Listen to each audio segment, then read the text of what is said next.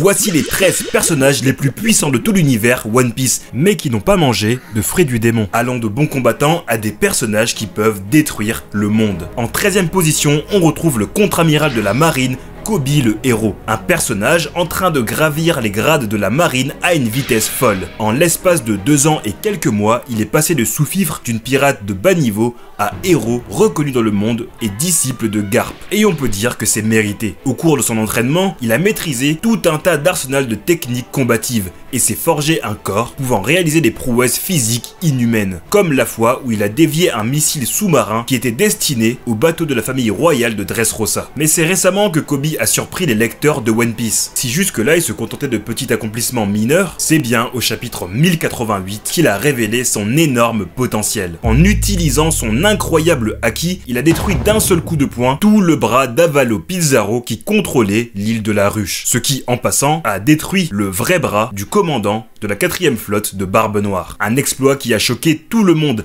et qui montre toute la marge de progression de ce personnage. À l'heure actuelle, Kobe vient à peine de maîtriser ce pouvoir. Dans le chapitre, lui-même ne savait pas comment il allait détruire le bras d'Avalo Pizarro. On ne peut pas le mettre plus haut dans ce classement. Vous verrez qu'il y aura des personnages beaucoup plus forts que Kobe dans cette vidéo. Les critères de position seront bien sûr le fait d'être sûr que le personnage n'a pas de frais du démon, le niveau de maîtrise du haki, les quelques informations disséminées dans le manga, et bien sûr le plus important pour moi, les faits accomplis qu'on a vus dans l'œuvre. Plus globalement, ce sera la puissance du personnage quels que soient les outils utilisés. Et non, je te le dis, Goldie Roger ne sera pas numéro 1 mais ça tu le sauras à la fin de la vidéo. En 12ème position, on retrouve Killer, le second de l'équipage de Kid et un des 12 supernovas. Il avait une prime de 162 millions de berries avant l'ellipse, et maintenant la dernière prime que l'on connaisse de lui est à 200 millions de berries. Si son capitaine a une prime de 3 milliards, c'est que la sienne a forcément dû augmenter aussi. Je sais que certains vont me dire que techniquement Killer a mangé un smile, donc il devrait ne pas compter. Mais son smile ne lui a rien apporté. C'est un combattant qui n'utilise pas de pouvoir en plus de ce qu'il déjà. Évidemment, Killer est confirmé comme un utilisateur des deux types de Haki, et il a fait partie du groupe des 5 pirates qui sont montés sur le toit et se sont dressés face à Kaido et Big Mom. Et dans cet affrontement, il n'a pas fait que de la figuration, il a montré de belles compétences de combat avec ses lames Punisher, qu'il n'avait pas lorsqu'il se faisait passer pour l'assassin Kamazo. Il a pu blesser Kaido de l'intérieur dans sa forme dragon, en utilisant ses techniques maniant le son pour causer des dégâts internes. Oui, au cas où si vous n'aviez pas compris, il n'a pas vraiment découpé Kaido à ce moment-là. Après l'affrontement sur le toit de Nigashima,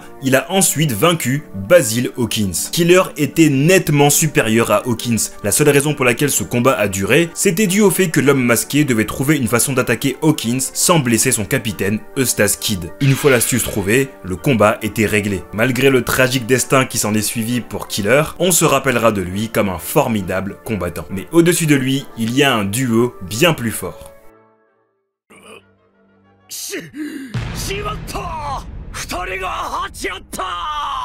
Inuarashi et Neko Mamushi. En effet, à la 11e position de ce classement, il y a deux personnages, car c'est tout simplement impossible de mettre l'un sans l'autre. L'auteur nous a fait comprendre qu'ils sont égaux. Ces deux pirates ont pu chacun leur tour stopper Jack la sécheresse, le troisième commandant de Kaido qui a le Zoan antique du mammouth. Ils l'ont poussé tellement à bout qu'il a dû se retirer et utiliser un gaz toxique afin de prendre le dessus sur les deux chefs Minx. La raison pour laquelle je place vraiment Inuarashi et Nekomamushi en dehors des autres fourreaux rouges, c'est qu'ils n'ont pas été envoyés dans le futur et ont eu 20 ans d'entraînement, à Kinemon, Raizo, Kikunojo et Kanjuro. Et si je les mets au-dessus de Denjiro et Ashura Doji, c'est parce qu'ils maîtrisent la forme Sulong. Cette transformation booste grandement toutes les aptitudes physiques des Mink. On l'a vu pour Kara ou encore avec Beppo. C'est sous cette forme que Nekomamushi et Inuarashi ont vaincu seuls, respectivement, Pelos Pelo et Jack. C'est donc en toute logique de voir deux anciens pirates de Barbe Blanche et de Goldie Roger dans ce classement. Mais à partir de maintenant, on rentre dans une catégorie encore plus haute. Car le prochain personnage est un personnage dont la puissance est monstrueuse. N'essayez jamais de le prendre en affrontement sous-marin, car on parle de Jimbe, le paladin des mers. Alors juste comme ça, le karaté aquatique, c'est mon style de combat, sûrement l'un de mes préférés dans tout One Piece. D'ailleurs, dis-moi en commentaire quel est ton style de combat préféré? L'actuel timonier de l'équipage au chapeau de paille a une puissance dont personne ne peut douter. Il n'y a qu'à voir les réactions de Trafalgar Law et Eustace Kid lorsque l'homme requin a affirmé qu'il faisait partie de l'équipage de Luffy. Sa maîtrise du karaté aquatique est sans égal et on ne compte plus ses faits d'armes. Dans le passé, il était déjà pirate en tant que second de Fisher Tiger et le gouvernement mondial avait déjà bien saisi son potentiel. Après la fin des Pirates du Soleil, il a affronté Ace au point ardent dans un combat serré sans vainqueur qui aura duré 5 jours, ce qui montre qu'il était déjà très fort et que ce n'est pas pour rien s'il a été sollicité par le gouvernement mondial pour devenir un grand corsaire. Et en parlant de corsaire, tout le monde se rappelle la facilité avec laquelle il a vaincu Gecko Moria, montrant que ce n'est pas parce qu'on appartient au même groupe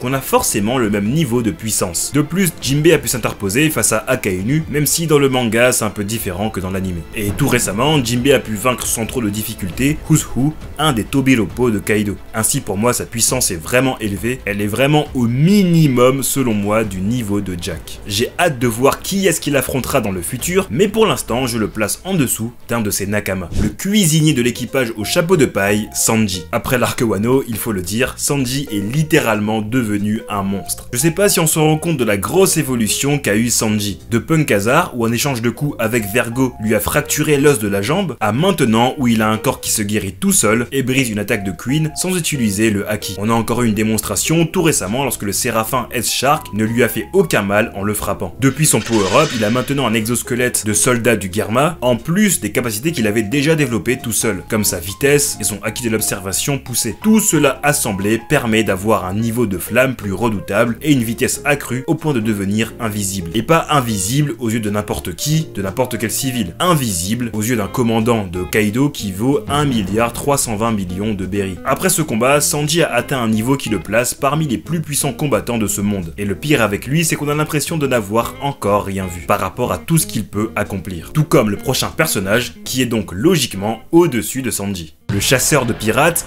Roronoa Zoro. Évidemment que Zoro allait se retrouver dans ce classement, surtout depuis qu'il vient de comprendre le fonctionnement du revêtement du Haki des rois dans ses armes, un pouvoir uniquement réservé à l'élite de ce monde. Depuis qu'il a reçu Enma, sa puissance a encore augmenté. Et une chose qui m'énerve avec Zoro, vous le savez, c'est qu'il utilise tellement peu de fois sa forme Ashura, donc à chaque fois on se demande si Zoro aurait pu vaincre des adversaires encore plus facilement. Parce que oui, tout le monde se rappellera à vie de la façon avec laquelle il a découper Kaido en forme hybride en utilisant inconsciemment le Haki des rois, tout comme Oden l'avait fait 20 ans plus tôt sur Kaido en forme dragon. Après ce combat, il a vécu un lunarien, littéralement peut-être le peuple le mieux doté génétiquement de One Piece en termes de résistance, vitesse et force. Une fois que Zoro a compris comment utiliser le Haki des rois, le combat était décidé. Et donc Zoro vient de passer le palier d'un second empereur, même si évidemment tous les seconds empereurs n'ont pas le même niveau. Mais ça reste quand même un fait d'armes énorme, parce qu'à Marineford on avait vu que des commandants d'empereurs pouvaient donner des vrais combats contre des amiraux. Donc là j'aimerais vraiment bien voir Zoro affronter un amiral. Comme d'habitude après chaque fin de combat de Zoro, on en attend plus pour la suite. Moi ce que j'attends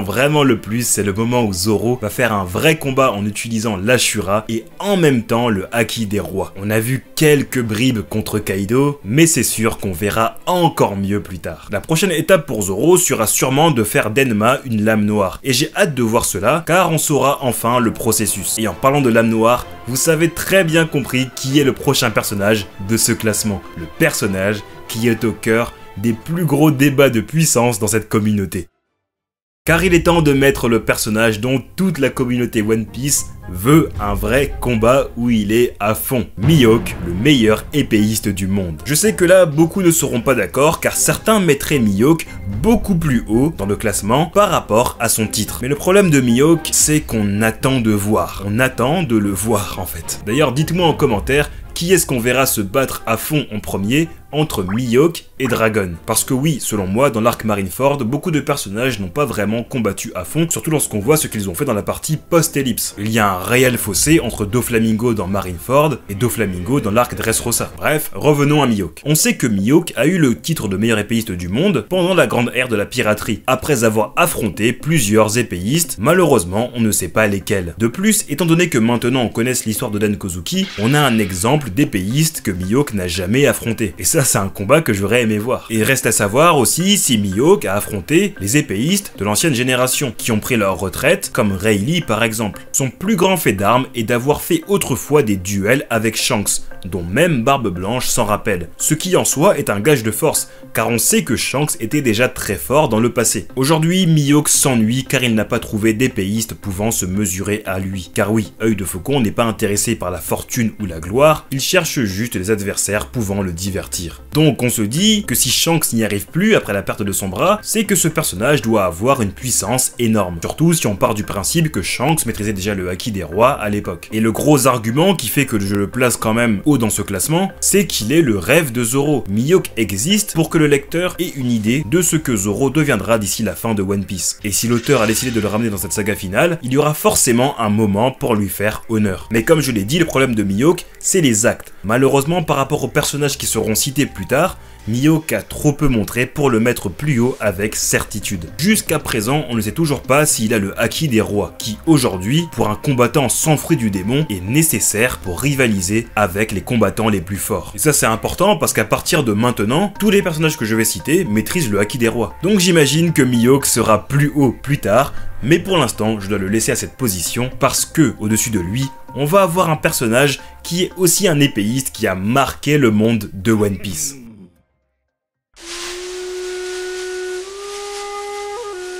Nous voici en sixième position de notre classement, et forcément, on ne peut pas passer à côté de la puissance incommensurable d'Oden Kozuki. Oden était bien plus qu'un simple combattant, il était un monstre de puissance. Sa maîtrise des trois types de haki, y compris le haki des rois, lui permettait de dompter la volonté de sa lame, Enma. C'était un homme extraordinaire qui pouvait influencer les autres d'un simple regard et son charisme était incontestable. L'un de ses moments les plus marquants fut son affrontement avec une autre figure emblématique de One Piece dont la puissance est incontestée, Kaido ou son bête. Il n'a pas simplement réussi à blesser son adversaire, il l'a également traumatisé au point que l'empereur s'en rappelle même 20 ans plus tard. Après évidemment ce n'est pas le même Kaido que dans le présent. Sa puissance était reconnue par des pirates légendaires tels que Barbe Blanche ou encore Goldie Roger, et même Sengoku le Bouddha. Oden Kozuki reste une preuve vivante qu'une bonne maîtrise du haki permet de dépasser les capacités d'un fruit du démon. Et dans l'anime, le fait qu'il ait affronté Scopper Gaban pendant l'affrontement entre les pirates de Roger et ceux de Barbe Blanche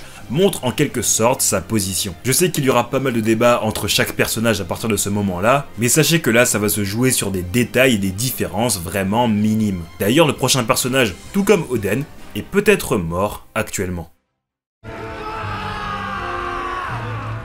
Le héros de la marine Garp sera le personnage en cette cinquième position. Garp est un personnage dont la puissance ne fait aujourd'hui plus débat tant ses exploits passés résonnent dans le monde de One Piece. On sait qu'il s'est allié avec Goldie Roger pour vaincre les pirates de Roxy Shebeck sur God Valley et qu'il le chassait constamment. La simple prononciation de son nom était suffisante pour l'exciter et aller au combat sans aucune peur. Plus jeune, on a pu voir qu'il utilisait des navires de la marine comme punching ball sans avoir recours au haki ni au pouvoir d'un fruit du démon. À Marineford, on ne l'avait pas vraiment vu. Il avait renvoyé Marco dans le décor et contre Luffy, les sentiments ont pris le dessus. Et aussi, il était prêt à aller attaquer Sakazuki. Mais récemment, ce qu'il a fait sur l'île de la ruche montre sa puissance. Déjà, le fait de montrer qu'il maîtrise l'infusion du haki des rois le classe évidemment à part dans cet univers. Mais en plus, ce battre et faire jeu égal avec un amiral montre qu'il n'est pas n'importe qui. Malheureusement, en empêchant Kobe de se faire avoir, il a pris un coup de Shiryu. Mais ça ne l'a pas empêché d'avoir recours à ses dernières forces pour surprendre Kuzan et retarder l'attaque d'Avalo Pizarro sur le navire de la marine, en lui dégommant la tête. Finalement, Garp a été vaincu sur cette île, mais bon, face à un amiral, l'ancien gardien-chef d'Impel Down et d'autres commandants de Barbe Noire, tout seul à 77 ans, c'est pas une marque de faiblesse. Dites-moi en commentaire, selon vous, qui seraient les personnages capables de battre tous ces gens-là tout seuls. Pour l'instant, passons à la quatrième position. Parce qu'on parle d'un homme qui respire la classe et le charisme, Silvers Rayleigh. En termes de puissance, Rayleigh est une véritable force de la nature. Il maîtrise les trois types de haki, ce qui le place parmi les guerriers les plus redoutables de l'univers One Piece. Mais ce qui le distingue particulièrement, c'est sa capacité à infuser le haki des rois qui le place automatiquement dans l'élite. Garp disait de lui dans le chapitre 501, au moment où un soldat de la marine lui recommandait d'aller capturer Rayleigh sur Sabaody, qu'il ne valait mieux pas l'affronter, car la marine ne pouvait pas se frotter à deux légendes en même temps. Rayleigh mérite sa place dans ce classement en raison de tout ce qu'il a fait dans le passé, en tant que second de Goldie Roger, mais aussi de sa démonstration de puissance dans le présent. Il a empêché un amiral de battre tout un équipage, et pas n'importe quel amiral,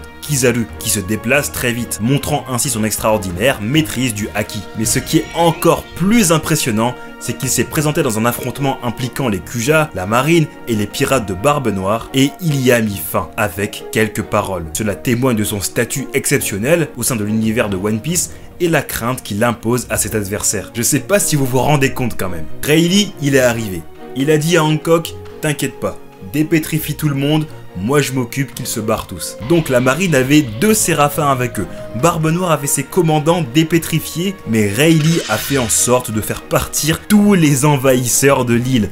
Et ça, c'est un truc de malade. Même si c'est vrai qu'il a dit lui-même ne pas pouvoir battre Teach avec son âge actuel. Seul un autre personnage de One Piece a réussi une telle démonstration de puissance. Évidemment, c'était à Marineford, et c'est le personnage qui se classe fièrement en cette troisième position. Car à cette troisième position, c'est évidemment Shanks qu'on va retrouver. Il est le maître du haki par excellence, possédant une gamme impressionnante de compétences. Shanks maîtrise non seulement le haki de l'armement et de l'observation, mais il est également capable d'utiliser les niveaux supérieurs de ses acquis, tels que la version évolutive du acquis de l'observation, qui permet d'avoir des visions du futur. Un pouvoir jusqu'à présent montré par Katakuri, Luffy et Kaido. Et il maîtrise bien évidemment la forme du acquis qu'on utilise comme une enveloppe corporelle, ce qui le place dans l'élite en appliquant ce principe avec le acquis des rois. Et Shanks a encore quelque chose que personne n'a montré pour l'instant, même Roger, même Rayleigh dans le monde de One Piece. C'est la faculté de tuer le Haki. C'est une petite révélation qu'on a dans le One Piece volume Red, où il est dit que Shanks peut, avec son Haki des rois, empêcher un adversaire de pouvoir voir des bouts du futur à l'aide de son Haki de l'observation. Donc j'ai vraiment hâte de voir un potentiel combat entre Luffy et Shanks, voire même, pourquoi pas, entre Teach et Shanks. Donc j'ai bien envie de voir comment cela marche. En plus de ses incroyables capacités en tant que maître du Haki, Shanks a accumulé de nombreux exploits au fil de l'histoire. Autrefois les duels épiques avec Dracul Mihawk, mais la marque de Shanks en tant qu'élite est attestée par le fait qu'il a réussi à fendre le ciel avec Barbe Blanche, un acte réservé aux individus d'exception. Si plutôt j'ai parlé de Rayleigh qui a arrêté une grande bataille, Shanks lui a littéralement arrêté une guerre. Il a dit si quelqu'un veut se battre, nous on est là, et cela a dissuadé tout le monde. Récemment, on a été témoin de la puissance incroyable de Shanks lorsqu'il a affronté Kid et Killer, enfin si on appelle ça un affrontement, et on a pu voir une de ses attaques offensives les plus redoutables, le trépas divin, l'attaque légendaire de Goldie Roger lui-même. C'est une démonstration de la puissance brute de Shanks. En somme, Shanks est indéniablement l'un des personnages les plus puissants de One Piece, et peut-être qu'avec Barbe Noire, on a là les deux personnages les plus puissants actuellement encore en vie. Bon, évidemment, ça peut changer vu ce qui se passe récemment avec les 5 doyens. En fait, Shanks est un pirate de légende. Et franchement, ça me hype tellement pour un futur combat entre lui et Teach, l'homme responsable de ses cicatrices. En deuxième position, fortune, gloire et pouvoir. Cet homme avait amassé toutes les richesses du monde. Oui, c'est bon, on sait qui est Goldie Roger, et je pense pas avoir besoin d'expliquer pourquoi il est au-dessus de tous les personnages cités précédemment dans ce classement. Avant de passer au numéro 1, j'aimerais quand même parler de ces personnages que j'ai pas pu mettre faute d'informations sur eux. Il y a d'abord les personnages d'une époque trop lointaine, comme le fameux Ryuma, considéré comme le plus grand samouraï de Wano, qui aurait découpé un dragon et aurait dissuadé énormément de pirates d'attaquer Wano Kuni autrefois réputé comme le pays de l'or. C'est aussi le seul épéiste avec Mihawk à avoir réussi l'exploit de faire de sa lame une lame noire. On aurait pu aussi mentionner Montblanc Norland qui avait montré une plutôt bonne maîtrise de son sabre en coupant le serpent géant Kashigami d'un seul coup sur Jaya. Il y a aussi des personnages qui malheureusement n'ont jamais eu de scène de combat mais dont on peut se douter de la puissance. Je parle bien sûr de tous les commandants de l'équipage de Shanks, en particulier le trio Beckman, Lukiru et Yasop, qui montreront sûrement un très haut niveau, mais là actuellement il n'y a vraiment rien qui nous permette de les classer. Ce qui nous amène à notre première place. Qui, dans ce monde, est le personnage le plus puissant sans fruit du démon? Vous vous y attendez sûrement, et il faut en parler.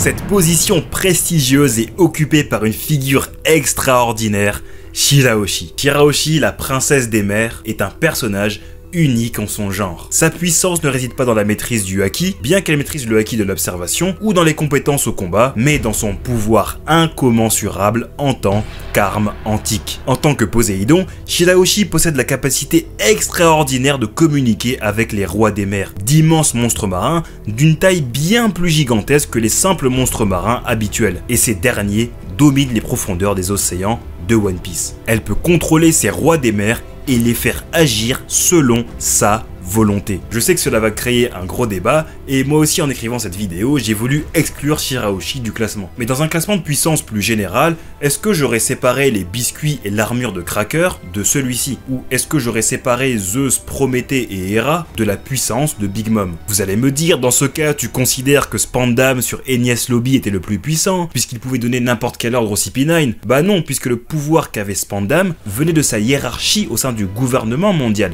pas du fait qu'il soit Spandam, ce qui est le cas pour Shirahoshi. Poséidon et son pouvoir, elle est l'arme antique. Dans un monde composé quasiment d'océans, Shirahoshi peut littéralement détruire toutes les îles existantes pendant un combat. Et ce n'est pas pour rien qu'Oda a donné ce pouvoir à une personne aussi paisible et bienveillante. Depuis la fin de ce combat contre Odie Jones, Shirahoshi a complètement éveillé ce pouvoir de détruire le monde. Et ce ne sont pas mes paroles, mais bien celles du roi des pirates. Elle est actuellement avec Nika et Imu, je dirais, les seuls individus qui à eux seuls peuvent changer l'équilibre du monde. Donc si on prend en compte la puissance générale, Shirahoshi eh bien, la première. Mais si tu veux vraiment savoir quelles sont les armes les plus puissantes du manga, alors il y a cette vidéo là qui pourrait t'intéresser sur les plus puissants sabres du manga. Tu vas découvrir les futures lames suprêmes que l'auteur n'a pas encore révélées, et des théories autour de certains sabres de One Piece. Sinon, porte-toi bien, et moi je te dis,